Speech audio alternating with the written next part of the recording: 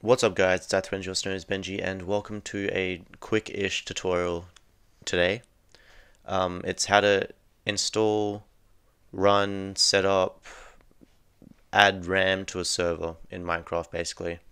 So there is three links in the description and also a line argument.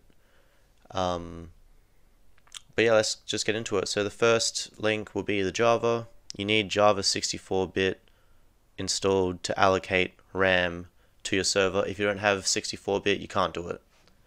So first link, click it, click Java download right in the center, big red button.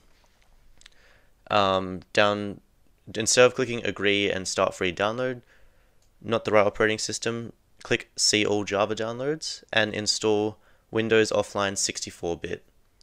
And then just click that, install it. You don't have to save it, just download it, open it, run, run, accept, yes, yes, yes, and allow it to like remove your old versions of Java and just get this new one because this is what you need. Um, you can then close that. You also need Hamachi. So this is basically like you create a private network. It's sort of it's technically a VPN, but it's a VPN that's like promoted to allow you to join other networks. As in like if you create this, your friend can join you and you can join your friend and yeah. So obviously click download now and install it and close that. And the third link is this. So mcversions.net, you can basically install any server that you want or any client that you want and any yeah, anything. My dog is jumping around everywhere.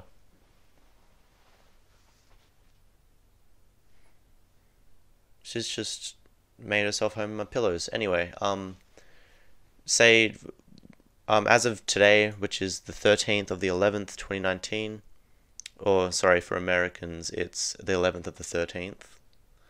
Um, 1.14.4 is the latest, like, official version uh, this is like the snapshots, so basically 1.15, but you don't want to want to run a server in a snapshot. But if you do, then you click that or whatever one you want. I just want 1.14.4, so I'll click on the server jar and keep that. And then it's only 34 megabytes. It shouldn't take too long. Now, when that is downloading, you want to go to like your home screen or wherever you want it. Type or click new folder and I'm just going to call it server tutorial. My C and V key are in the wrong spot on my keyboard. Anyway, um, you want to drag the folder that you just downloaded into there. Now you can close Chrome completely. Uh, if this isn't named server, make sure it is. I'll tell you why in a second. But first you just want to double click and run and it, it only takes like a few seconds. Um, four folders or three other folders pop up. Server properties, the EULA and the logs. You want to open the EULA, change what is false to true, so it's basically agreeing to their terms and conditions. You can go to it here if you want to. It's basically just don't use our server inappropriate inappropriately and yeah. Now you can double click the server.jar folder again and then heaps of more folders will pop up and also probably my IP just did as well maybe possibly. If you're doing this for the first time you're better off not doing it on stream or on camera just in case something does pop up. But I don't think anything did. So basically your server can be um, like worked on right now. Like you can you can join it and everything. Your friends can join it. Um, but we don't want to do that. We want we want to get some RAM. So you want to type in stop in the little command bar here, click enter, and it closes it.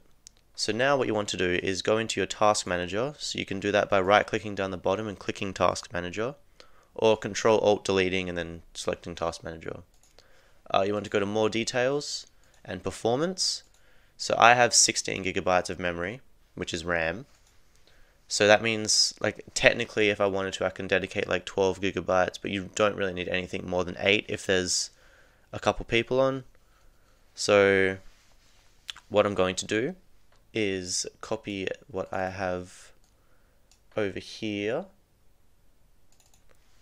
which is this. So this is 4 gigabytes maximum, 1 gigabyte minimum, but we are going to be changing that. So what you want to do is in the new folder that you created, the server, whatever you call it, right click, click new, text document. I'm just going to call it run because that's what you're going to use to run. And you want to paste the line argument that is in the description, which it should be this. Or, yeah, it should be this. So that is 4 gigabytes because 1 gigabyte is 1024, 2 gigabytes is 2048, 3 gigabytes is 3072, 4 gigabytes is 4096. So it basically goes up by 1024.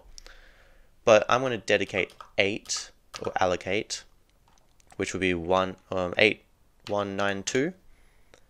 So basically the minimum it will be using is 4 gigabytes and then the maximum is 8. Now you want to file, save as, all files dot bat save. So bat means batch, so it's like a, uh, a runnable file.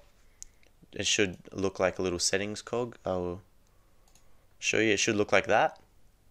But obviously if you don't have it shown like that, then it's fine. And I need to change that list. And then run the .bat file. So this will pop up. This is basically another console that everything will be on. And then, yeah, so as you see here, once it all loads up, I'll start Minecraft now as well. As you see here, it's 95% free and it's using 400. So before it was using the same amount, but it was also at like 30% free just because there was only one gigabyte allocated, which is the default. So I'm just going to launch up Minecraft 1.14, play. I'll quickly show you all how to op as well. So in the console, you can use this as a console as well if you want to, but you can just type in this. Type in op, your username, and it will op you, as you see, made i3NGYT a server operator. So if you go to multiplayer, direct connect, you, if you're running the server, can type in localhost and it will connect you to it, but your friends will need to copy your your IPv4 address from from Hamachi. So from once you're opped in game, you can type in stop and it stops as well. And then this should close as well. Um, let's go over to Hamachi. Yeah, when you get a new like Hamachi, you uh, you'll get asked to like sign up, log in, everything. It's free. Just enter your email and it's done. Uh, it should look like this when you first get it actually. Offline. Click power on. Network, create a network once it powers on. and then call it whatever you want. So I'm just going to say y, YT tut, and then the password will be the same. YT tut, like YouTube tutorial. And then what they want to do, what your friends want to do is when they join it, or what they do to join it, sorry, is join an existing network, and then it would be but obviously I'm already a, mem a member of it, so I can't. Um, they would right click here, like right click your name and copy IPv4. Obviously, it's blurred out because it's my IP, don't want you all to see it. But you would copy it, and then if I run the folder again, run the file again, and type it in here, blurred,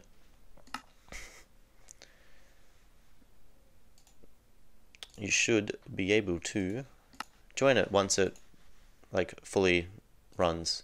When you have 8 gigabytes allocated to your server, like it basically will never lag. it will only lag if you have like six people on and you're all fighting the Ender Dragon and spawning ten withers in at once. Like it's, it won't, it should not lag. Every now and then there might be some um little like freezes for like a millisecond, but that is just Minecraft in general. It does that in single player. Um, yeah, so that is that. You can type stop. A Minecraft server, I can show you how to change that as well. So, uh, this is all stopped. Yeah, cool. Uh, you can go over to server properties, server.properties, and open it as a notepad. And it comes up with like everything about your server. So, instead of it saying a Minecraft server, it can say i3ng's world. And then um, max world size, you can change that. Max players, you can change that to be 100 if you want. Enable command blocks. If you want to be doing like redstone and some teleporting stuff, change that to true. Um, op permission, I mean, you can change that if you want. Difficulty, easy, normal, hard. Allow nether, true, obviously. Force game mode. If you want to make it, if you want to make like an actual server, um, this is a bit different than what we're doing. But if you want to force the game mode so that spawn is like survival, that's what you do. Change it to true. Um, spawn protection, if you want that. Uh, you can enter a resource pack here as well that you have installed. And there was one more. I think allow fly somewhere as well. Allow flight. So if you don't want to get kicked for flying, I would change that to true. Just because it could be a bit glitchy. View distance as well, I would recommend changing that to 16, just so you know you can see. And change that save it, and then when you run it again, it should change from a Minecraft server to i3ng's world. Is that what I called it? I can't really remember. I called it i3ng's world. world. Anyway, yeah. So that is that. 13 minutes. Not too bad for setting up a server and allocating RAM and everything. So obviously I had to um I had to blur some stuff out because it's my IP and I'm not using a VPN to like change my IP. I don't know how to do that stuff, which is surprising. But uh, yeah, so remember you need 64-bit Java for this to work. Um, you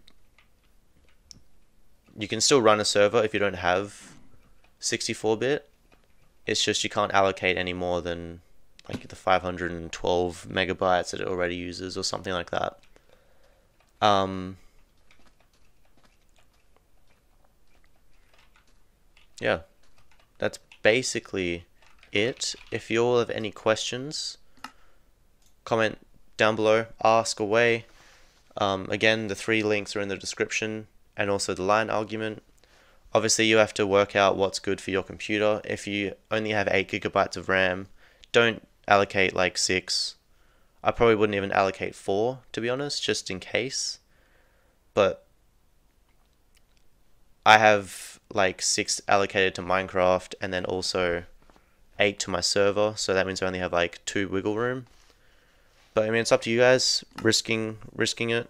Then nothing will happen. Something will just crash like probably Minecraft, and then if anything does happen, if you op a friend who's on the server, they can just type slash stop if your computer's not working, and then it should work. But yeah, I guess that is everything. Uh, if you want to whitelist people as well, if you want to make it a private server, you can whitelist. Just type their name in the brackets here, so it'd be like that. But you don't need a whitelist. You can also ban IPs, ban players if you really, if you really want to, because when people join, you can see where they join from in the console, like their IP. I'm pretty sure. So yeah, I guess that's it. Oh, also, if you want to change the world, delete it, and then just start up the server again and it will spawn a new one in for you in a second once it finishes loading everything. See a new one. So it basically starts fresh. If you want to add like a map like a skyblock for example you would need to like download the skyblock folder put it in there and it would be called skyblock 2.1 or whatever it is. Change it to world. Whatever whatever map you have in here it has to be called world otherwise it won't work. But yeah. Unless you obviously change it in here yeah like there okay took me a while to find it but level name world um if you change it to like skyblock and the world in here is called skyblock then it should work but you're better off just keeping it as world just because it's default it's easy. But yeah I'll stop this guy. And we're done. So I hope this helped everyone if it didn't comment what's going what's going on. If you just say it doesn't work then I prob I most likely won't be able to help you because I don't know what's happening. Um, if your Java doesn't work install something called Jarfix J A R F I X. Install it from either like the Java website or some other program. Um, some other website sorry. But yeah if you have any specific problems comment down below and I'll do my best to help you out. And obviously recommend this to your friends show them the video. If you can't get it working maybe they can. Uh, yeah. Enjoy everyone. Peace